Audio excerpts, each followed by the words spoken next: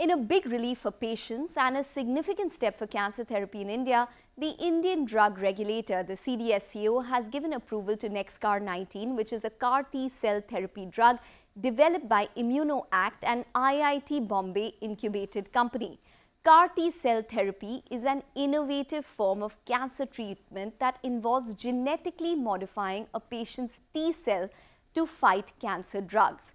NexCAR19 is intended for the treatment of lymphomas and leukemia, which are types of blood cancers. It is an innovative drug that means that it is not a copy of an existing drug. It will be manufactured in India. Now, one of the most promising aspects of NexCAR19 is its cost effectiveness. It is expected to be up to 90% cheaper than current alternatives. CAR T therapy is a type of immunotherapy designed to boost the patient's immune system to target and destroy cancer cells. It involves modifying T cells in a lab and then infusing them back into the patient.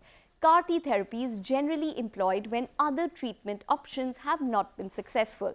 It has shown particular effectiveness against hard to treat and advanced cancers, although it can come with serious side effects. Currently, Indians who sought CAR T therapy have to import the treatment at a substantial cost of approximately 3 to 4 crores per patient. NexCAR 19 is expected to be available at around 30 to 40 lakh rupees per patient.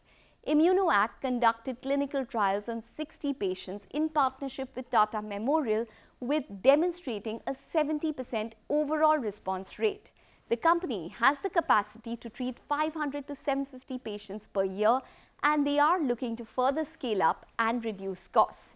ImmunoAct aims to expand its CAR T therapy platform and bring down the treatment costs even further with the goal of reaching around 20 lakh rupees per patient.